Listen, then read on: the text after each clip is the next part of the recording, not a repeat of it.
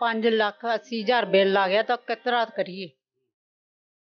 ਤਾਂ ਘਬਰਾ ਮੈਨੂੰ ਉਸੇ ਟਾਈਮ ਪੈ ਗਿਆ ਸੁਣ ਕੇ ਹੀ। ਮੈਨੂੰ ਕਹਿੰਦੇ ਕਹਿੰਦੀ ਇੰਨੇ ਲ- ਇੰਨੇ ਲੱਖ ਰੁਪਈਆ ਬਿੱਲ ਆ ਆ ਗਿਆ ਇੱਥੇ ਦਾ। ਤਸਵੀਰਾਂ ਦੇ ਵਿੱਚ ਦਿਖਾ ਦਈਏ ਕਿ ਘਰ ਸਿੰਪਲ ਸਾਦਾ ਆ। ਦੋ ਚੀਜ਼ਾਂ ਚੱਲਦੀਆਂ ਨੇ ਇੱਕ ਪੱਖਾ ਤੇ ਇੱਕ ਬਲਬ ਤੇ ਚੁੱਲ੍ਹਾ ਵੀ। ਮਿੱਟੀ ਦਾ ਆ ਲੱਕੜ ਦੇ ਨਾਲ। ਘਰ ਦੇ ਵਿੱਚ ਇੱਕ ਕਮਰਾ ਹੋਵੇ, ਸਿਰਫ ਦੋ ਜੀ ਰਹਿੰਦੇ ਹੋਣ। ਵਿਹੜੇ ਦੇ ਵਿੱਚ ਮਹਿੰਗੀਆਂ ਟਾਈਲਾਂ ਤੇ ਪੱਥਰ ਦੀ ਥਾਂ ਗੋਹਾ ਲਿਪਿਆ ਹੋਵੇ ਤੇ ਉੱਪਰੋਂ ਬਿਜਲੀ ਦੇ ਨਾਲ ਚੱਲਣ ਵਾਲਾ ਸਮਾਨ ਵੀ ਬਹੁਤ ਘੱਟ ਹੋਵੇ ਤੇ ਬਿੱਲ ਆ ਜਾਏ 5 ਲੱਖ ਰੁਪਇਆ, ਤਾਂ ਫਿਰ ਸੁਣ ਕੇ ਵੱਡਿਆਂ ਵੱਡਿਆਂ ਦੀਆਂ ਤਰੀੜੀਆਂ ਨਿਕਲ ਜਾਣ। ਬਿਜਲੀ ਵਿਭਾਗ ਦੀ ਮਿਹਰਬਾਨੀ ਆਖੋ ਜਾਂ ਗਰੀਬ ਪਰਿਵਾਰ ਦੇ ਨਾਲ ਠੱਗੀ। ਅਜਿਹਾ ਮਾਮਲਾ ਸਾਹਮਣੇ ਆਇਆ ਅੰਮ੍ਰਿਤਸਰ ਤੋਂ, ਜਿੱਥੇ ਇੱਕ ਕਮਰੇ ਦੇ ਵਿੱਚ ਰਹਿ ਰਹੇ ਪਰਿਵਾਰ ਨੂੰ ਜਦੋਂ ਪਤਾ ਲੱਗਿਆ ਕਿ ਉਹਨਾਂ ਦਾ ਬਿੱਲ 5 ਲੱਖ ਰੁਪਏ ਤੋਂ ਵੱਧ ਆ ਗਿਆ ਤਾਂ ਇਹ ਸੁਣ ਕੇ ਪੈਰਾਂ ਹੇਠੋਂ ਜ਼ਮੀਨ ਨਿਕਲ ਗਈ। ਇਹ ਪਰਿਵਾਰ ਅੰਮ੍ਰਿਤਸਰ ਸੈਂਟਰਲ ਦੇ ਪਿੰਡ ਫਤਾਹਪੁਰ ਦਾ ਰਹਿਣ ਵਾਲਾ ਹੈ। ਇਸ ਪਰਿਵਾਰ ਦੇ ਵਿੱਚ ਦੋ ਜੀ ਨੇ, ਦੋਵੇਂ ਮਿਹਨਤ ਮਜ਼ਦੂਰੀ ਕਰਕੇ ਆਪਣਾ ਗੁਜ਼ਾਰਾ ਕਰਦੇ ਆ। ਇਸ ਪਰਿਵਾਰ ਦੇ ਘਰ ਜਦੋਂ ਲੱਖਾਂ ਦਾ ਬਿੱਲ ਪਹੁੰਚਿਆ ਤਾਂ ਸੁਣ ਕੇ ਸੁੰਨ ਹੋ ਗਏ। ਇਹ ਪਰਿਵਾਰ ਨੇ ਆਪਣਾ ਦਰਦ ਕਿੰਜ ਬਿਆਨ ਕੀਤਾ ਤੁਸੀਂ ਵੀ ਸੁਣ ਲਓ। ਇਸ ਵੇਲੇ ਅਸੀਂ ਅੰਮ੍ਰਿਤਸਰ ਦੇ ਸੈਂਟਰਲ ਹਲਕੇ ਦੇ ਫਤਾਹਪੁਰ ਪਿੰਡ ਖੜੇ ਹਾਂ ਔਰ ਇਸ ਪਿੰਡ ਦੇ ਵਿੱਚ ਖੜ ਕੇ ਗੱਲਬਾਤ ਕਰਨ ਦਾ ਮਕਸਦ ਇਹ ਹੈ ਕਿ ਤੁਹਾਨੂੰ ਅੱਜ ਇੱਕ ਐਸੇ ਪਰਿਵਾਰ ਨਾਲ ਮਿਲਾਉਣ ਜਾ ਰਹੇ ਹਾਂ ਜੋ ਬਹੁਤ ਤੰਗੀ ਤੁਰਸ਼ੀ ਦੇ ਵਿੱਚ ਰਹਿੰਦਾ ਪਰ ਜੇ ਗੱਲ ਕਰੀਏ ਉਹਨਾਂ ਦੇ ਬਿਜਲੀ ਦੇ ਬਿੱਲ ਦੀ ਤਾਂ ਬਿਜਲੀ ਦਾ ਬਿੱਲ ਅੰਬਾਨੀ ਅਡਾਨੀਆਂ ਵਰਗਾ ਆਇਆ। ਸਤਿ ਸ਼੍ਰੀ ਅਕਾਲ ਜੀ। ਸਤਿ ਸ੍ਰੀ ਅਕਾਲ। ਠੀਕ ਹੋ? ਠੀਕ ਕਾਦੇ ਵੀਰ?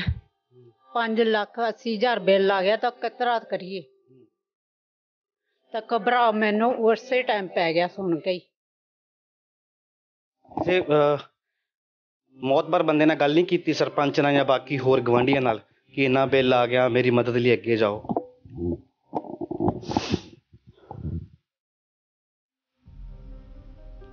ਕੋਈ ਗੱਲ ਨਹੀਂ। ਫਿਲਹਾਲ ਮੈਂ ਠੀਕ ਨਹੀਂ ਨਾ ਤਾਂ ਨਹੀਂ ਮੇਰੇ ਆਵਾਜ਼ ਨਿਕਲਦੀ ਇਸ ਟਾਈਮ ਪਰਿਵਾਰ ਦੇ ਹਾਲਾਤ ਇੰਨੇ ਖਸਤਾ ਨੇ ਨੇ ਮਾੜੇ ਨੇ ਪਰਿਵਾਰ ਵੀ ਭਾਵਕ ਹੋ ਗਿਆ ਗੱਲ ਕਰਦਾ ਕਿਉਂਕਿ ਇਹ ਪਹੁੰਚ ਤੇ ਕਰਨੀ ਭਾਜੀ ਇਹ ਨਾ ਰਾਤੀ ਬਿੱਲ ਆਇਆ ਸੀ।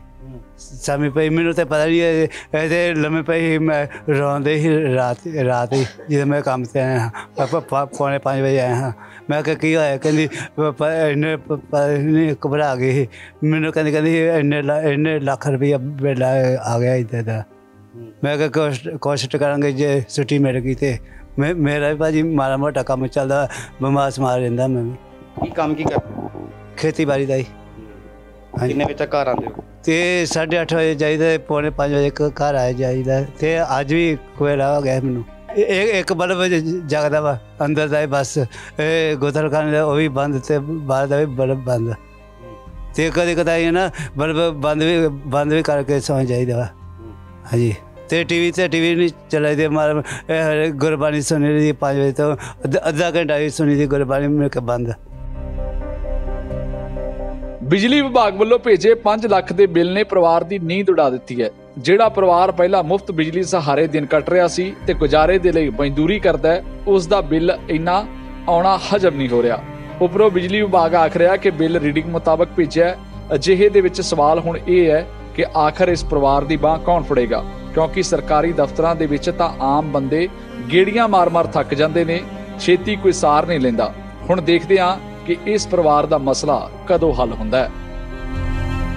ਅੰਮ੍ਰਿਤਸਰ ਤੋਂ ਹਰਮੀਤ ਸਿੰਘ ਦੀ report, Daily Post, Punjab, Haryana, Himachal.